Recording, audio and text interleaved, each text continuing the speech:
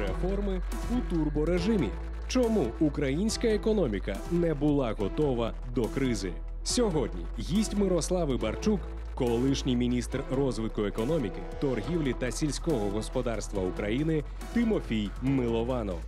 Програма Святі і грішні. Відверто про головне. Вітаю, я Віктор Пономарьов. Це передмова програми Святі та грішні з Мирославою Барчук. Наш гість сьогодні Тимофій Милованов, е, колишній міністр економіки, торгівлі та сільського господарства. Власне, у телецентрі Суспільного вже понад три тижні антивірусні заходи. Бачимо, як у нашого гостя спеціальним термометром вимірюють температуру. І бачимо, що вона власне в межах норми. Пане Тимофію, скажіть, ви от очолили Київську школу економіки знову. В Фейсбуці написали, що будете займатися файндрайзингом та публічними комунікаціями. Якщо простими словами, що це означає? Фандрейзинг це гроші для школи. Ми приватна установа, університет, е, це наукова установа, юридична особа в Україні за всіми законами, але ми не державні і не отримуємо ніяких не гривні е, з бюджету і ніколи не отримували. Тому для того, щоб конкурувати, тому що оплачувати е, викладачів і витрати на навчання, нам потрібно знаходити гроші. І гроші ці ми не можемо брати з студентів і не хочемо, тому що не у всіх талановитих студентів є гроші.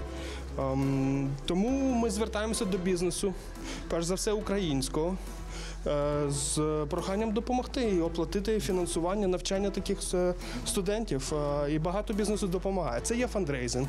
А комунікації це друга частина університету, де науковці і аналітики роблять багато консультацій, консалтинг, дослідження, які в принципі важливі для конкретно для сьогодні, для людей, для прийняття рішень навіть під час кризи. І Зрозуміло. розмова про це це друга частина моєї роботи.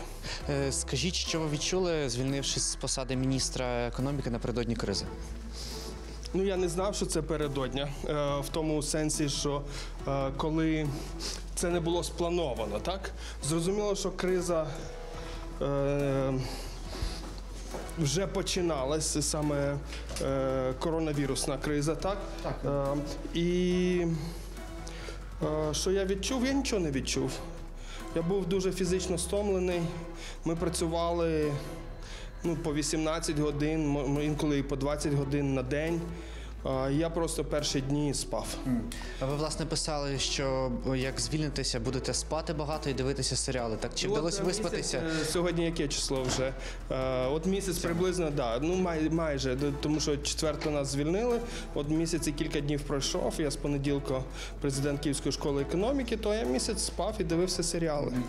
А чи готові знову стати міністром?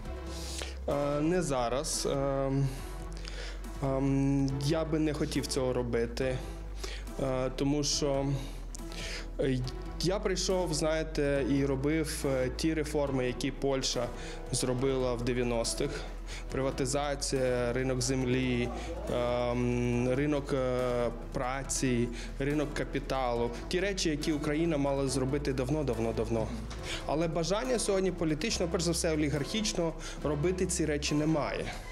Ми навіть бачимо, який прийняли ринок е, землі і закон. Він теж знов відтермінований там на кілька років, поки він буде нормальний. А нам потрібно доганяти наших сусідів, а не відставати. Нам не відтерміновувати потрібно, а поспішати. І так само, наприклад, ми бачимо зараз сьогодні 16 тисяч правок Власне, антиколомойської. пане Тимофію, про це до- докладніше з Мирославою поговорите. Моє останнє традиційне питання для всіх гостей: чи готові ви говорити правду українському народові? Так.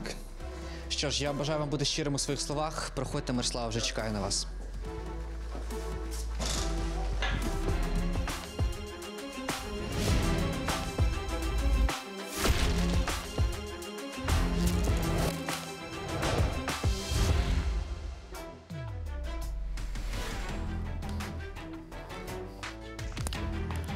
Доброго вечора. Я Мирослава Барчук, і це святі та грішні. Програма, в якій ми будемо говорити про те, чи переживе українська економіка карантин, і про те, чи є життя після пандемії, тобто чи має українська влада план виходу з кризи.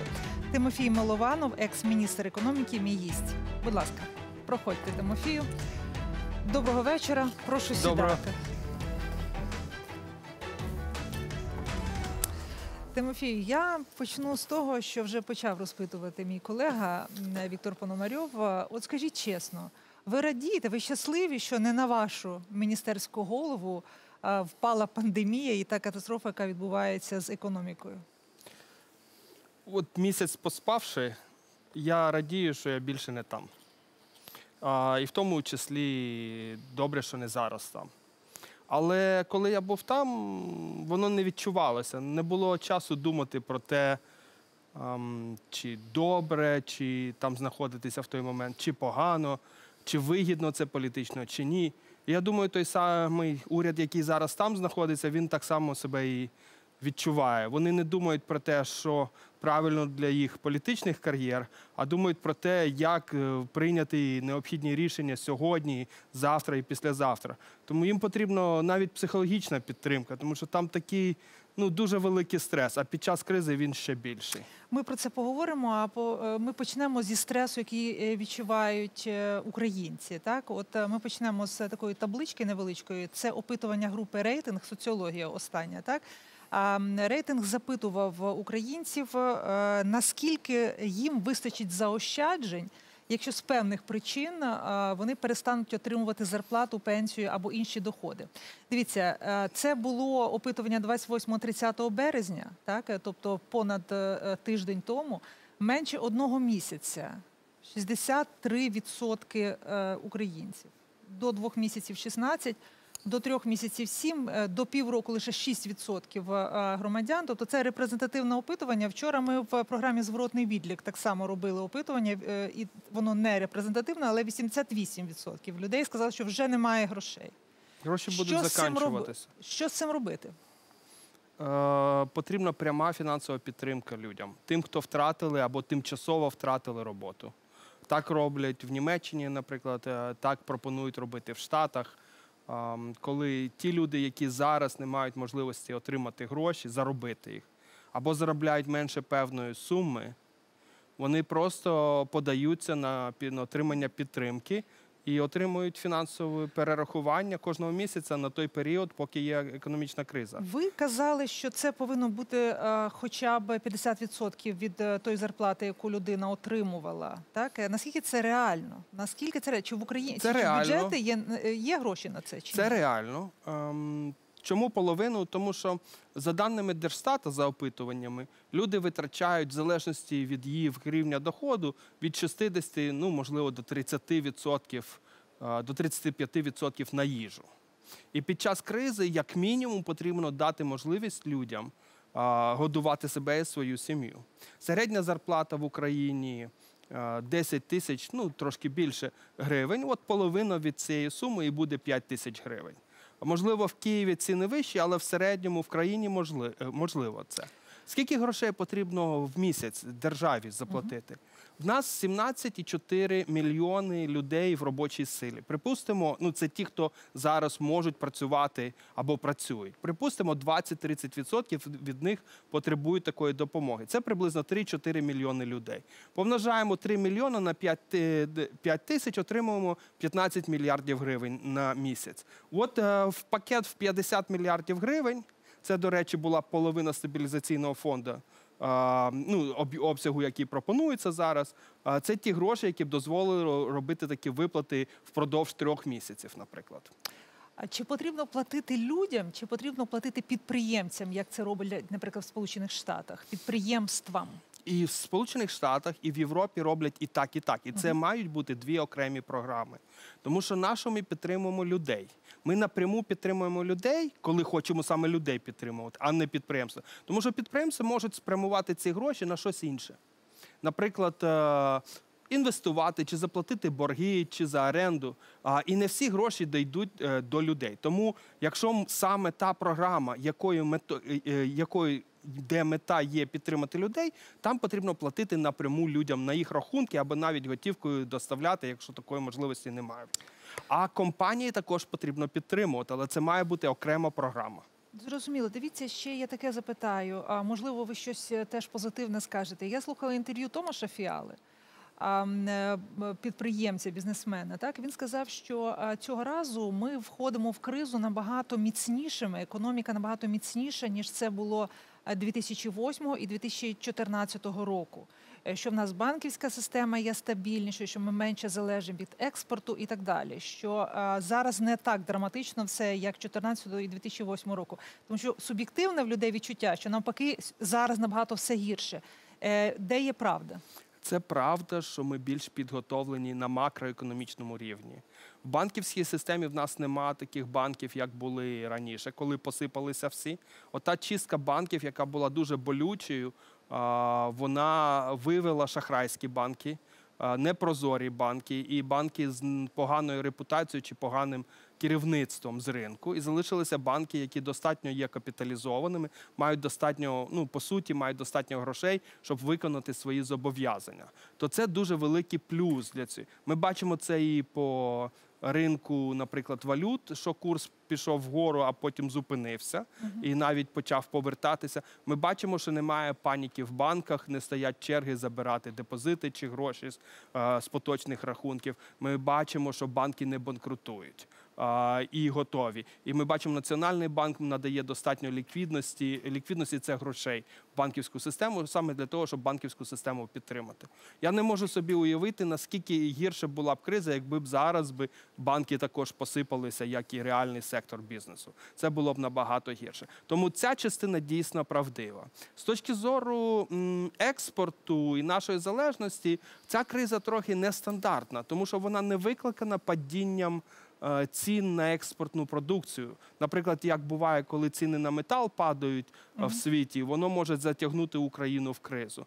Тут е, дійсно є падіння цін в цілому, але більше падіння саме на нафту. Через десь війну, ну нафтову війну, яку Росія почала, а, а також ем, ем, через е, ну, взагалі уповільнення економіки. Але на наш експорт, особливо на агропродукцію, продукцію сільського господарства, ціни е, не реагують так сильно, і попит на їжу на сільськогосподарську продукцію буде залишатися. І якщо там і є падіння, воно незначне. Тому в цьому плані також правда, що цього разу, можливо, я би не сказав, що ми більш диверсифіковані, але дійсно е, агро має більше відсоток в експорті, і агро в гарному стані відносно інших продуктів. Дякую. Після реклами е, я вас розпитаю про те, чи буде е, кредит МВФ наступний транш, і якою буде країна, якщо ми не отримаємо грошей МВФ. Тимофій Милованов, мій гість, лишайтеся з нами.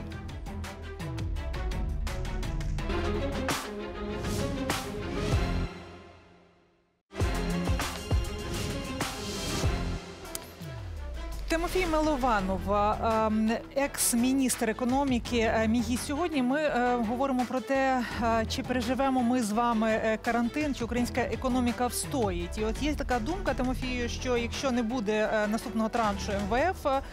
То нам буде дуже і дуже непереливки. Так ми знаємо, що тиждень тому, минулого понеділка, парламент прийняв банківський закон, його називають антиколомойський закон.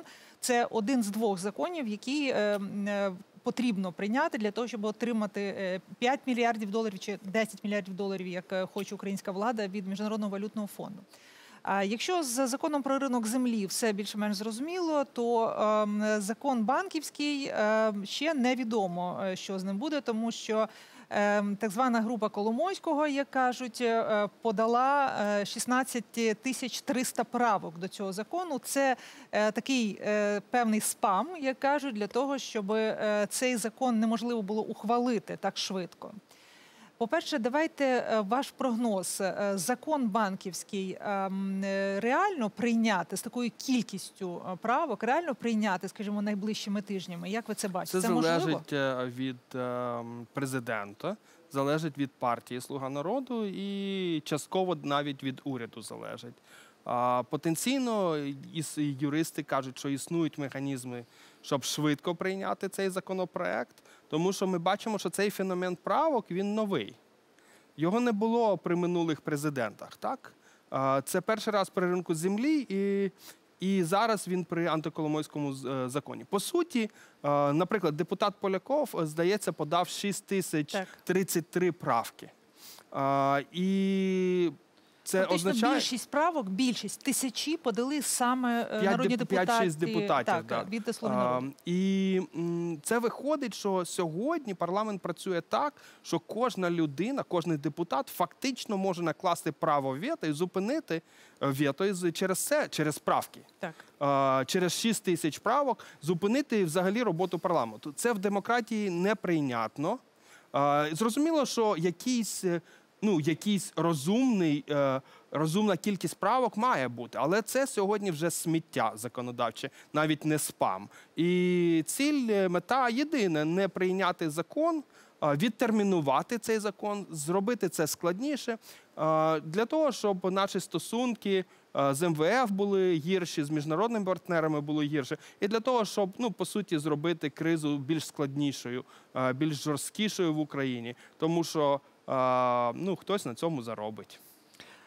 Ем, Ми розуміємо, хто на цьому заробить, е, так і ми розуміємо, що є очевидно ем, група е, людей в е, фракції Слуга народу, яка ем, подає ці справи, яка спамить так цими справ е, правками для того, щоб не був прийнятий цей закон. Так, так ми це бачимо. Ви е, були в Трускавці, е, коли ці всі прекрасні люди, народні депутати, ви навчали, ви е, були одним з організаторів цього тренінгу. Ем, Ви могли передбачити вже тоді, що буде ця група, яка фактично буде наскільки потужною, так що фактично не буде давати ухвалювати закон, скажімо, банківський, чи буде так сильно відстоювати інтереси олігархічної групи. Ви коли думаєте про цей трускавець, так е, де ви були, ви бачили цих людей? Ви тоді усвідомлювали, що це так і буде? Ну, я пам'ятаю викладання і е, в Трускавці, і тоді там був Дубінський, а інших я ще не знав з цієї групи людей. І е, Дубінський не ходив. Він заходив пару разів на викладання, але він проводив час більше, е, здається, біля басейну. Е, А не в залі з навчання. І кілька людей. От е, Бужанський я не пам'ятаю, тоді ще не пам'ятаю. Але мені здається, теж е, я не його небагато. Тобто я не запам'ятав його серед студентів, да? серед тих, хто навчався. Тому е, можна зразу сказати, що десь 20% вже тоді не ходили і не навчалися. Чи можна було передбачити, що воно так буде розвиватися? Ну ні, в той момент, знаєте, такий був конфетно-цвіточний період, да, такий е, романтичний. Ем, Сиділо 80% від, е, від е, депутатів, е, десь 200-250 бувало, навіть ці приходили. Тому що додатково, здається, запропонували ще кількома людям. Там було більше, ніж депутатів потім в самому парламенті на, ці, на, ну, на цьому навчанні чи на цьому семінарі. І більшість з них, майже вся, хотіла змінити країну на краще. е, І всі вірили, що це той шанс, що нарешті Україна зміниться. А я був дуже натхнений І е, що трускавцем. сталося? І що сталося? Ну, я думаю, що реалії ем, в життя включилися, політичного життя України. Ви знайомі з Коломойським особисто? Ні. Він е, колись е, пригадуєте, був скандал, коли він е, сказав, що ви дебіл. Пригадуєте, що Так, я і, ви, пам'ятаю. і ви і ви сказали, ваша відповідь була дуже дивна на це. Ну я тоді не знав, я боявся, я тоді не розумів, як це працює. Зараз би я відповів і відповідаю, що якщо тут хтось і дебіл, то це не я, а він. Якби мені задали таке саме питання. Тому що люди насправді утримують Україну від розвитку. І цього не можна робити. Вже можна було б знайти шлях собі якийсь, е, стосунки побудувати із світом, із Україною, із політиками, щоб не творити оцього хайпу, е, не лякати всіх, е, ем, не лякати всіх дефолтами, да? не, роз, не розлякувати інвесторів з України, а, а просто дати країні розвиватися. Е, Чи президент е, ем, е, усвідомлює от те, що про що ви зараз сказали, що Укра- що людина стримує е, Україну від розвитку? Чи, чи Володимир Зеленський е, усвідомлює це? Наскільки ним про великий зараз вплив Коломойського на Зеленського? Наскільки Зеленський залежний від Ігоря Коломойського? Ну мені важко сказати, тому що я ні жодного разу не був присутній при розмовах. Е, олігархів жодного, наприклад, е, про президента, чи з президентом, чи з людьми навколо. Мені десь пощастило, я думаю, тому що інші міністри, я знаю, спілкувалися з олігархами напряму. А на мене якось Коломойським, е, зокрема? зокрема з Коломойським, але також з іншими. А на вас Е, не на тисли, мене ніхто ні. нічого на, на людей казав навколо тисли, е, тиснули, бувало, а на мене жодного разу. Е, В Агро я зустрічався майже. Ну, не з усіма, але з більшістю людей, які приймають рішення саме в сільському господарстві по ринку землі. А от е, з олігархами в такому розумінні, е, от е, наші стандартні прізвища Ахметов, Коломойський, Пінчук, я з ними по роботі не зустрічався жодного разу. І тому сказати, на мене не було тиску. Тому мені важко сказати, чи усвідомлює президент, але я думаю, що у нього дуже важка і складна роль. Йому потрібно збалансувати цих. Інтереси різних олігархічних груп між собою, а з можливості для того, щоб знаєте, змінити правила гри в Україні, потрібні сильні правоохоронні органи і судова система. А я думаю, що ми її сьогодні не маємо. Як ви ем, е, розглядаєте і що ви думаєте про, посилення карантинних заходів? От говорячи про правоохоронну систему, е, що ви про це думаєте? В цілому позитивно, тому що ем, за нашими оцінками, за моїми розрахунками, за розрахунками професорів е, і аналітиків Київської школи економіки, ем, вартість життя на і те, що ми ту, ту кількість людей, яку ми можемо врятувати через карантин, набагато перевищує ті втрати. Ем, Які зазнає економіка. За нашими розрахунками, е, карантин дозволить врятувати до ну, якщо в економічній цінності рахувати до річного ВВП, тобто все, що країна за рік робить, та, виробляє. І якщо карантин відмінити, так економіка буде в кращому стані на 10-20%, але точно не на річний ВВП чи не на 2. Тому я підтримую, але я не погоджуюся з певними перегибами, от такі як про парки, чи, наприклад, е, мер Києва. Кличко нещодавно пропонував заборонити їздити машинами. Ну, тобто є такі вже ну, відверті глупості, е, які потрібно ну, не робити. Да? Добре, зрозуміло. Ви кажете, що, ем, що можливо, от власне посилення карантину добре, так і ми зможемо після карантину, після е, того як пандемія відступить, так вірус відступить, ми можемо відроджувати економіку. Але тут постає питання, чи є у влади план е, власне виходу з цієї кризи.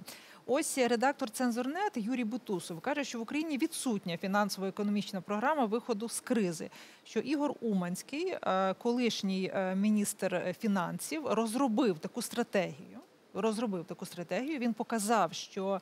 ем, е, Що є там великі дуже якісь схеми тіньові, так де Україна втрачає колосальні гроші буквально щодня, так йдеться там про мільярди показав це Володимиру Зеленському, е, дав список е, компаній, так, е, які замішані в цих схемах, і після цього був відправлений у відставку. Ну, це він дав інтерв'ю, коли він виходив, щоб пояснити. За що Ігоря Уманського відправили у відставку? Я не знаю. Але я думаю, що новий міністр фінансів краще за Ігоря Уманського, Сергій Марченко. Я Сергія Марченка знаю добре. Він е, чи давно це людина, яку я поважаю як спеціаліста. Це людина, яка розуміє, має широкий такий погляд на фінансову систему.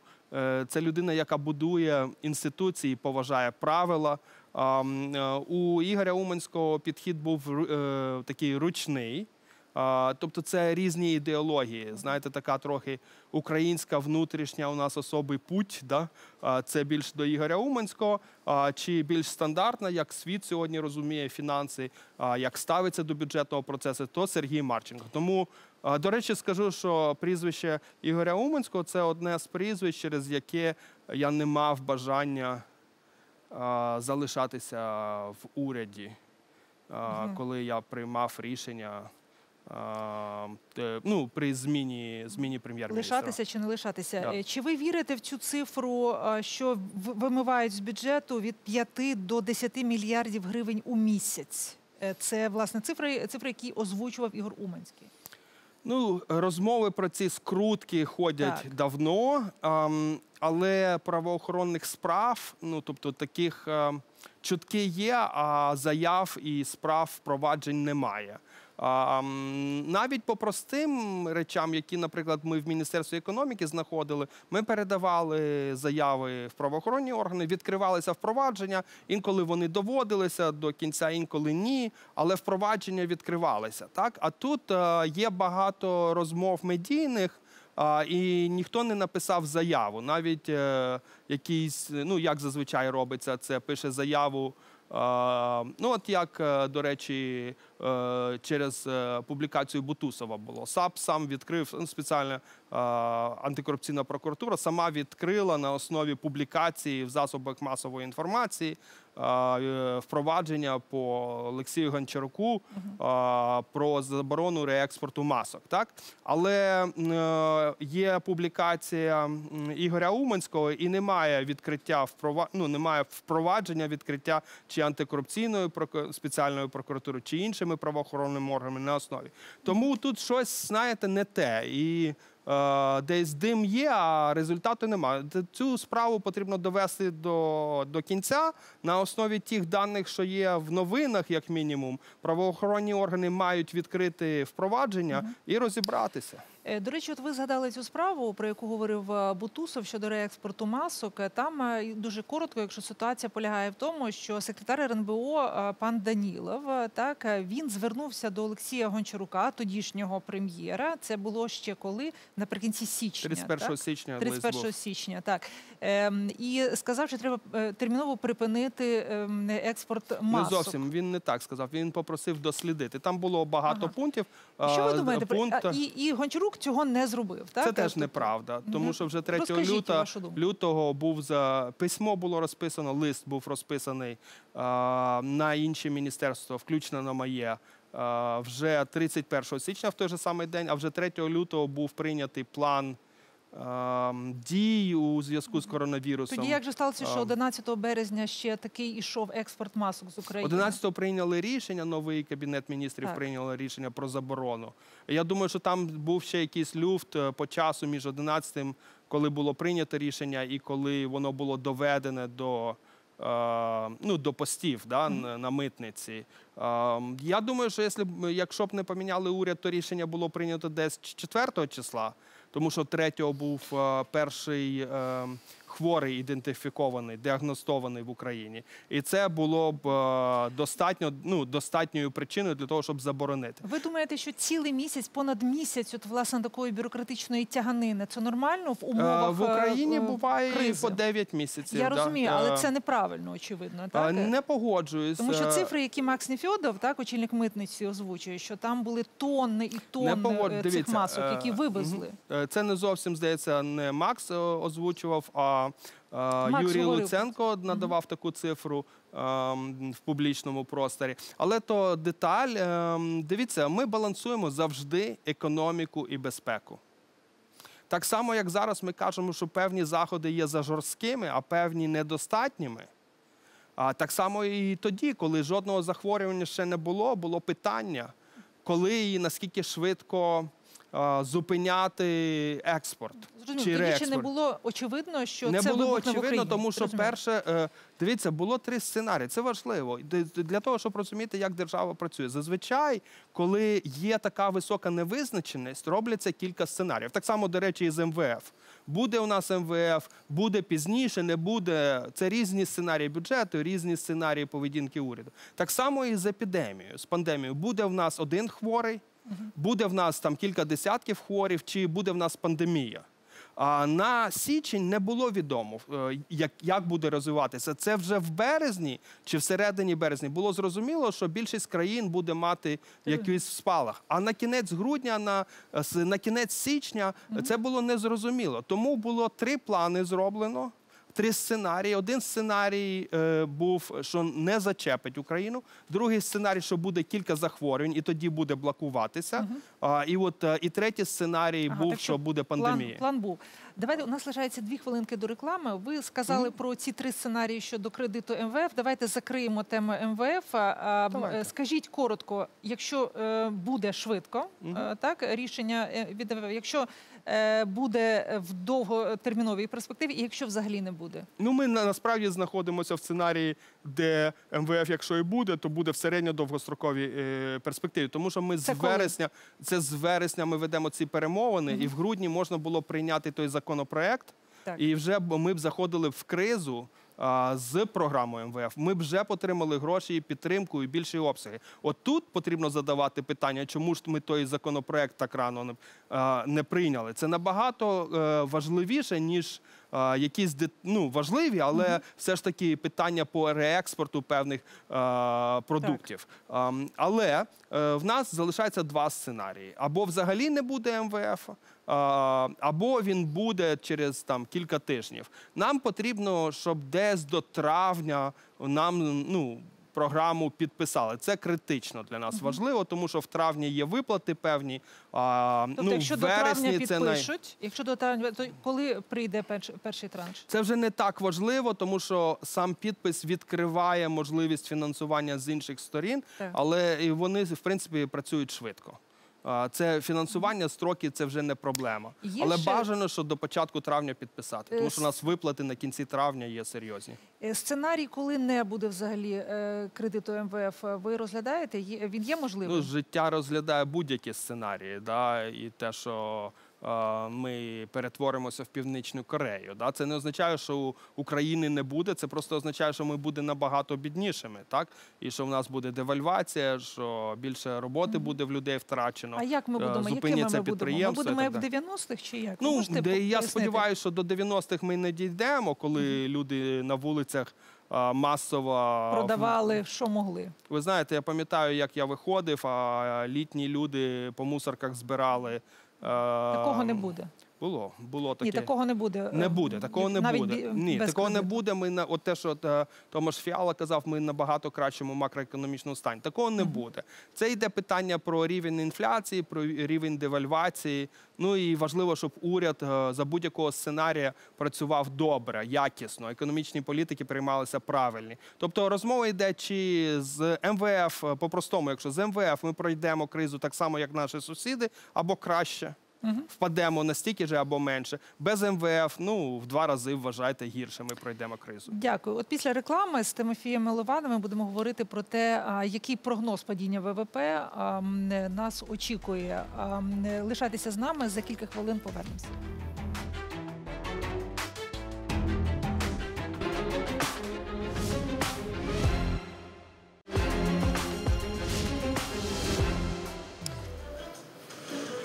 Тимофій Милованов, е, екс-міністр економіки, е, в мене в студії. Ми продовжуємо і ми говоримо про те, що нас очікує, яке падіння е, власне нашої економіки. Дивіться, Тимофію, значить. е, ем, Прогноз щодо ВВП, які втрати ВВП від прем'єр-міністра Шмигаля є е, 4%.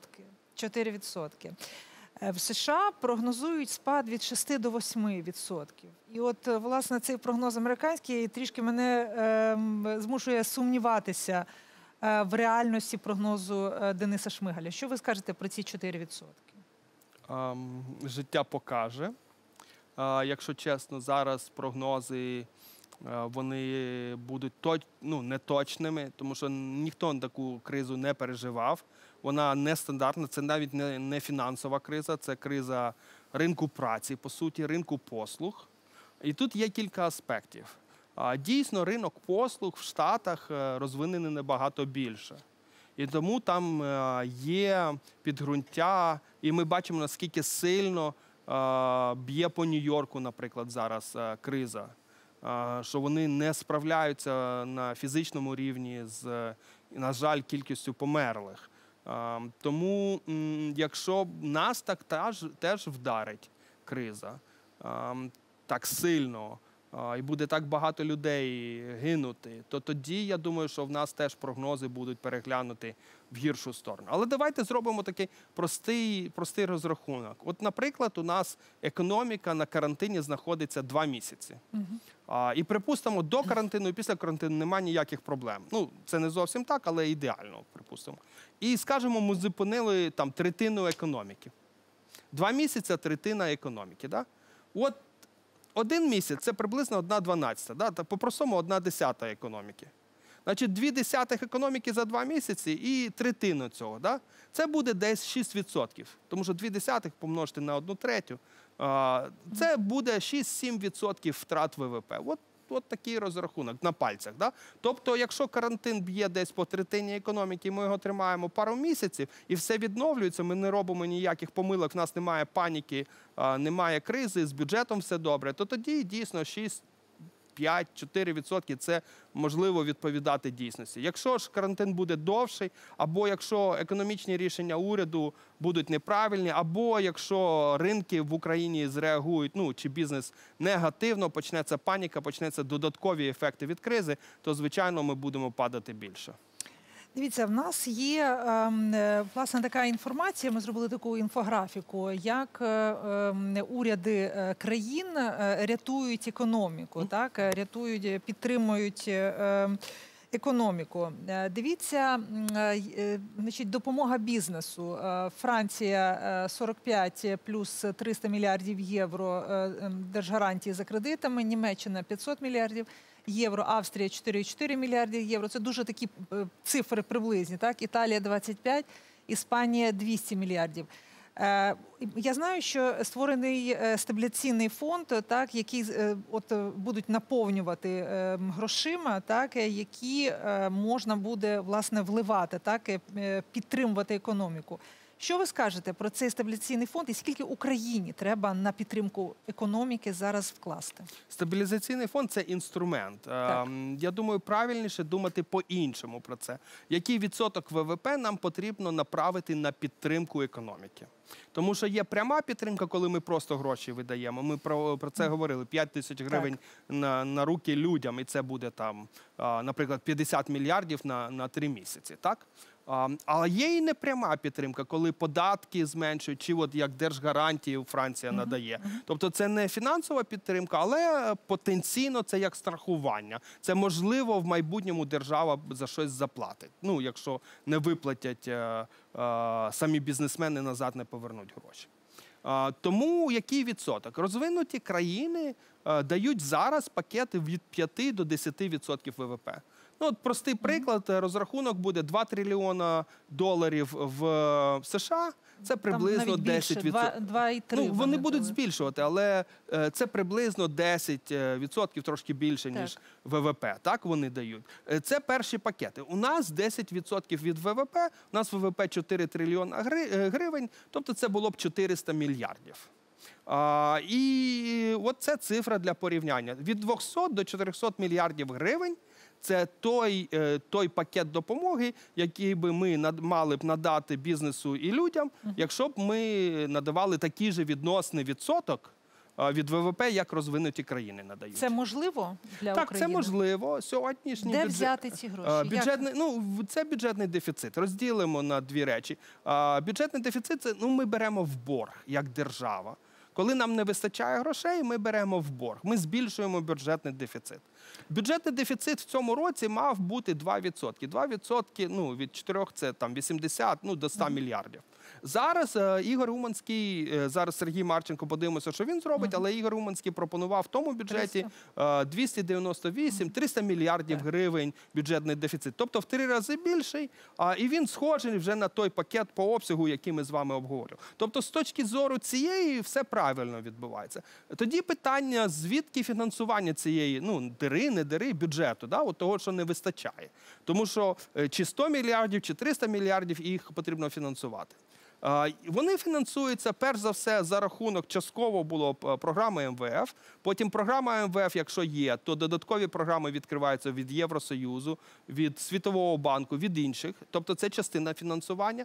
І друга частина фінансування, ну як в економіці, коли грошей вже не вистачає, ми не можемо фінансуватися через такі програми. Ми тоді через ОВДП, тобто е, облігації внутрішнього державного е, займу, так позики, ми починаємо позичати на ринку. Інколи ринок відмовляється, і тоді ми позичаємо напряму в наших державних банків, а в, деяких країнах напряму в Національного банку чи в центральному банку. Це вже скрита чи не скрита емісія.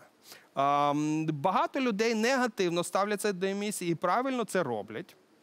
Тому що коли починаєш друкувати гроші і просто фінансуєш, ну справді центральний банк, національний банк починає фінансувати все, що уряд хоче, просто друкуючи гроші, купуючи ОВДП. Так то ми опиняємося в 90-х з гіперінфляцією. Тоді ми будемо тоді будемо в 90-х. Але найважливіше в цьому процесі. Не зовсім те, звідки гроші беруться, і чи навіть ми друкуємо, і ні. а важливо, на що ми їх витрачаємо. Бо якщо ми їх витратимо на підтримку саме малого і середнього бізнесу і на підтримку людей, які тимчасово втратили роботу, то ми підтримуємо економіку, підтримуємо людей, дамо їм пройти через кризу і повернутися, відновитися після кризи. Якщо ж ці гроші підуть на підтримку правильним підприємствам чи правильним в дужках підприємцям, а, це просто буде крадіжка грошей з бюджетного з бюджету, то тоді ми запустимо інфляцію, але підтримку тим, хто потребує, її не дамо. Наскільки- Тому небезпека саме в цьому, як ми будемо витрачати цей наскільки ця небезпека реальна? Бо Реальна, виглядає тому що- дуже реальною. Реально, тому що те, що пропонувалося е, міністром фінансів Ігорем Уманським з цим стабілізаційним фондом, це по суті ручняк.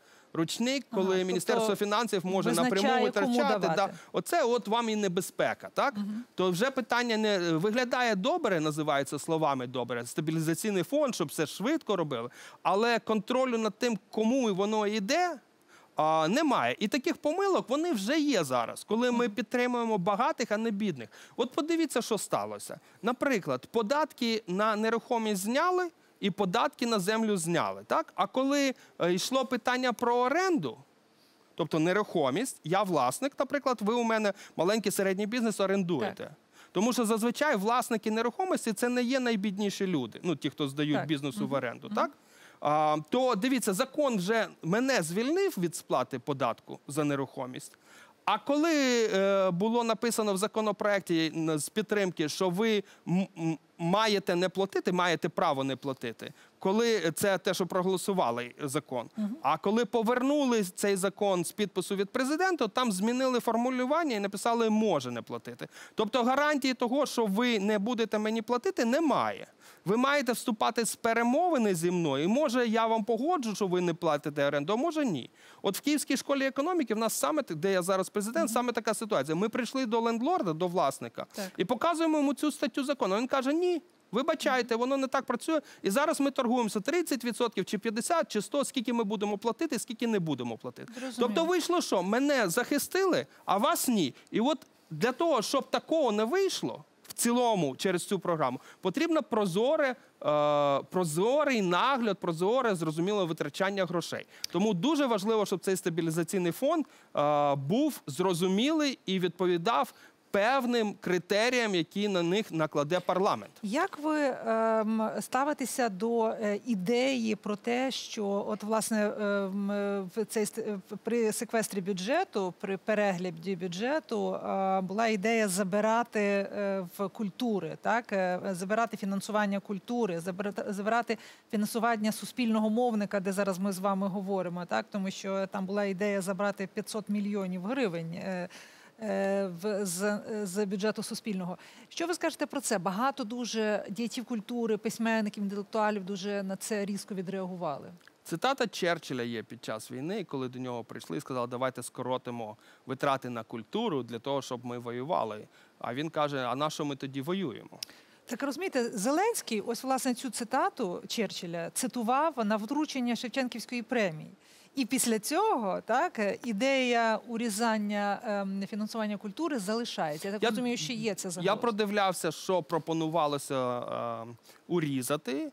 Там були дійсно такі частково Український правильно. культурний фонд, Е, е, потім е, це те, що- Держкіно, Да, потім але були програми. Український інститут при МЗС, е, так е, е, та багато інших. Але були і програми, які не дуже ефективні. Тобто завжди якісь хотілки. Є там певні хотілки порізали, е, порізали. Також е, є політична е, складова. Багато, багато таких проєктів гарних, я вважаю, які були розпочаті минулим урядом. ем, Чи продовжені минулим урядом, вони були порезані. Наприклад, я дивився, що в першому варіанті пропонувалося зрізати на науковий фонд, да, тим, де науковцям видаються гроші. е, за це взагалі вся реформа науки, фінансування науки на тому фонді була побудована. Це. Національна академія наук. Ви А, маєте ні, не увазі? національне. Там створений окремий інше. фонд в рамках реформи, де фінансування дається за результати, за грантове фінансування, як в усьому світі.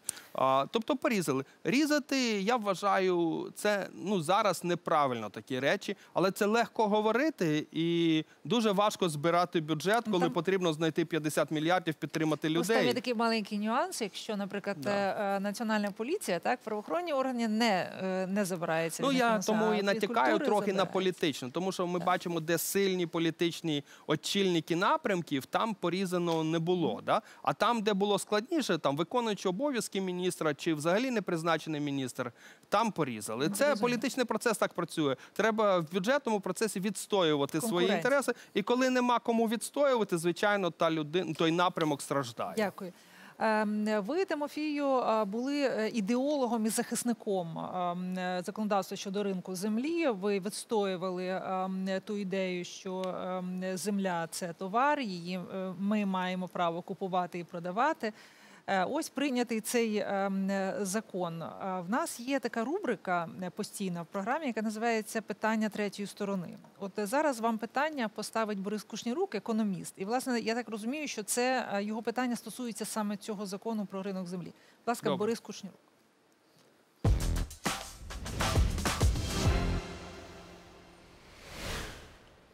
Ми з вами є прихильниками відкриття ринку землі. В той же час у нас відмінні погляди на те, хто має право, мав би право купувати цю землю.